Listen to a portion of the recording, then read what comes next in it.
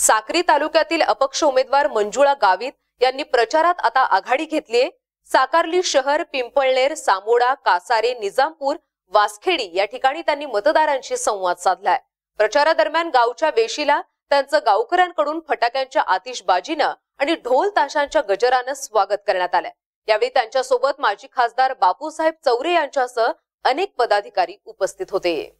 यावेळी गावित म्हणाल्या की मी सामाजिक आणि राजकीय क्षेत्रात गेल्या अनेक वर्षांपासून काम करतेय. मी एकाही कार्यकर्त्याचं मन दुखावलेलं नाहीये. सुखदुःखात मी उभी राहिले आणि पक्षाचं ध्येय धोरण साक्री तालुक्यातील शेवटच्या मतदारापर्यंत पक्षाचे आणि नेत्यांचे विचार रुजवलेत. तरी देखील मला पक्षानं तिकीट नाकारलंय. परंतु मतदार राजांनी मला अपक्ष म्हणून उभं राहण्याचं बळ दिलं.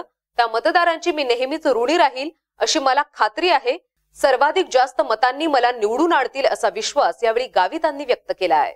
हा व्हिडिओ तुम्हाला आवडला असेल तर असे आणखीन व्हिडिओ पाहण्यासाठी एम चे युट्यूब चॅनल सबस्क्राईब करा आणि बेल बटन दाबा. ताज्या अपडेट्स आणि घडामोडींसाठी पाहत रहा फक्त एम प्रतिबिंब वास्तवतेचं.